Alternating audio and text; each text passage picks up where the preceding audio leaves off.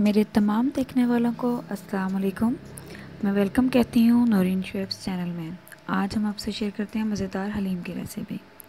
इसके लिए हमें चाहिए माश की दाल, मूंग की दाल, चावल, चने की दाल और दलिया, एक एक कटोरी। इन तमाम चीज़ों को रात को हम भिगो देंगे। माश की दाल, मूंग की दाल और मसूर की दाल इनको इकट्ठे भिगोना है। चने की दाल को अलग भिगोना है। इसी तरह फिर चावलों को अलग भिगोना है और दलिए को हम अलग भिगोएँगे। इन तमाम चीज़ों को अलग अलग भिगो देना है पूरी रात के लिए। फिर इसके बाद अगले दिन सुबह को हम माछ की दाल, मूंग की दाल और मसूर की दाल इन तमाम में डालेंगे। हम लोग इन तमाम में डालेंगे हम लोग प्याज और लहसुन, सुरख मिर्च, नमक और इसको कुकर को बंद कर देंगे। इस तरह चावलों को अलग से बॉईल करेंगे। चावलों और दलियों को इकट्ठा डाल के अलग से बॉईल कर लेना और चने की दाल को अलग से बॉईल कर लेना क्योंकि वो टाइम थोड़ा ज़्यादा लेती है। इन तमाम चीज़ों को इतना बॉईल करना है कि वो अच्छी तरह गल के मिक्स हो जाएँ। इतना बॉईल करेंगे हम दालों को। और बाज़ अवत दालें नहीं भी होती हैं तो उनको फिर हम लोग ग्राइंड भी कर सकते हैं। जब हम चिकन बनाएँगे तो चिकन के लिए हमें चाहिए चिकन प्याज, टमाटर, लहसुन अदरक, इसी तरह गरम मसाला, हल्दी, लाल मिर्च, हल्दी, लाल मिर्च, नमक, ज़ीरा दालचीनी और इलायची और इस तरह सूखा धनिया। तो सबसे पहले हम लोग इसको कुकर में ही बनाएँगे। सबसे पहले हम कुकर में डालेंगे चिकन फिर इसमें प्याज, फिर हल्दी, इसी तरह लाल मिर्च, नमक, और इसमें जाएगा दालचीनी और इलायची, और दो से ढाई गिलास पानी तकरीबन। तकरीबन दो से ढाई गिलास पानी काफ़ी होगा। और इसके बाद हम इसको अच्छी तरह हिला के लहसुन अदरक का पेस्ट डालेंगे, फिर इसको अच्छी तरह हिला लेना है और फिर हम कुकर बंद कर देंगे। टमाटर, ज़ीरा और सूखा धनिया जो है, ये हम भूनते हुए डालेंगे, पहले नहीं डालेंगे। दस मिनट के लिए वो आठ से दस मिनट कुकर बंद कर देंगे जब खोलेंगे तो कुछ इस तरह होगा। गोश्त पे अच्छी तरह गला हुआ होना चाहिए। फिर इसमें टमाटर डालेंगे, आधा ज़ीरा डालेंगे और सूखा धनिया आधा डालेंगे और इसको अच्छी तरह फिर भून लेंगे। इतना भून लेना है कि अच्छी तरह उसकी स्मेल ख़त्म हो जाए और इस तरह। अब इसमें हमने गरम मसाला भी डाला है थोड़ा सा और। इसको अच्छी तरह भून के इसमें डालेंगे ऑयल अब हम ऑयल डाल के फिर इसको अच्छी तरह पाँच से दस मिनट अच्छी तरह भूनेंगे। कि टमाटर भी मिक्स हो जाए और वो अच्छी तरह भून भी जाए।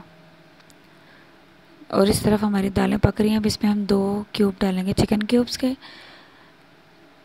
ये आपकी मर्ज़ी आप डाल, हैं तो डाल सकते हैं, नहीं तो कोई लाजमी नहीं है। लेकिन इससे अच्छा फ्लेवर अच्छा हो जाएगा। जो बाकी आधा हमारे पास गरम मसाला और ज़ीरा और सूखा धनिया बचा था, वो हम इसमें डाल देंगे, दालों में डाल देंगे। अब इन दालों में हमने सारा कुछ ही मिक्स कर दिया है। चावल भी और दलिया भी, माश की दाल भी, चने की दाल भी, तमाम चीज़ें मिक्स करके फिर इसको पका रहे हैं। इधर से चिकन हमारा भुनने वाला है। जब चिकन अच्छी तरह भुन जाएगा तो हम इसकी हड्डियाँ लैदा कर लेंगे। हड्डियाँ लैदा करने के बाद, यहाँ मुझे ऑयल थोड़ा कम लग रहा था तो हमने ऑयल थोड़ा सा ज़्यादा डाल दिया है। और इस तरफ़ हमारी दालें पक रही हैं। इनमें दालें, चने, दालें, चावल, चने की दाल और दलिया, सारा कुछ मिक्स है अब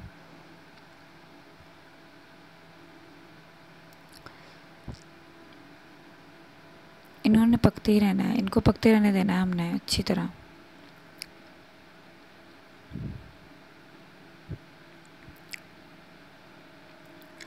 अब देखेंगे जी, चिकन को भूनते हैं, उस तरफ़, एक तरफ़ चिकन भून रही है और एक तरफ़ हमारी दालें पक रही हैं, पक रही हैं।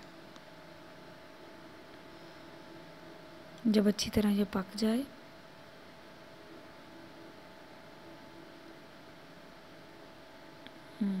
इसके रेशे तकरीबन ऐसे इतना पक जाएगा कि रेशे अंदर ही अलग हो जाएँगे और हड्डियाँ अलग हो जाएँगी। ये देखें, दालों में बॉयल आ रहा है। आहिस्ता आहिस्ता बॉयल आता जा रहा है इनमें भी। फिर हमने इसकी हड्डियाँ अंदर ही अलग कर लेनी है और तमाम जो चिकन है वो इस हलीम में, दालों में डाल के इसको अच्छी तरह पका लेना है। तकरीबन दस मिनट हम इसको पकाएँगे फिर अच्छे से। अब ये तमाम हमने हड्डियाँ अलग कर ली। अब ये चिकन जो है बाकी उसको हम डाल देंगे इसके अंदर।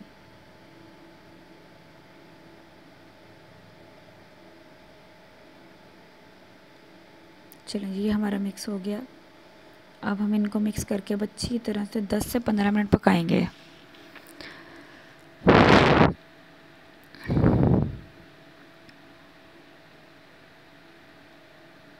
ज़रा एहतियात से कोई छींट आपके हाथ पे ना पड़े। अब दूसरे एक तरफ़ हम एक पैन लेंगे, उसमें ऑयल डालेंगे और उसमें प्याज, जब ऑयल गर्म हो जाएगा तो हम उसमें प्याज डालेंगे।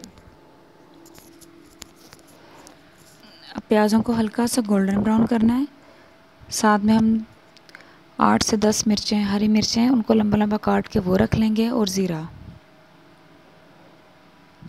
जब प्याज इस तरह पकने शुरू हो जाएँ और लाइट से ब्राउन हो जाएँ तो फिर हम इसमें डालेंगे हरी मिर्चें। ये हम इसका तड़का तैयार कर रहे हैं।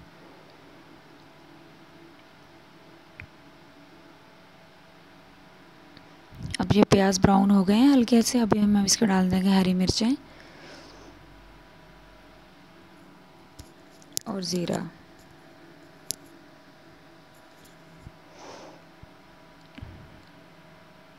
अब इसको थोड़ा सा पका के और फिर हम इसको हलीम में डाल देंगे। बहुत ही मज़े का लग रहा है देखें यहाँ पे।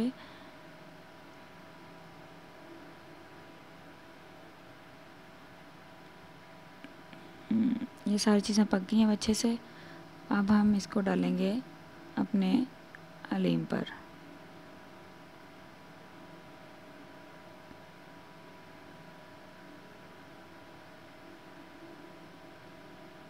और ये हमने डाल दिया बहुत। ही यहाँ पे इतनी मज़े की खुशबू आ रही थी, मज़ा दिल कर रहा है कि दोबारा से खाऊँ। इसको हमने ज़्यादा अच्छे से मिक्स नहीं करना, बस ऊपर से हल्का हल्का और ये हमारी है प्लेट की फ़ाइनल लुक सैलड धनिया, पुदीना लेमन और चाट मसाले के साथ। Thank you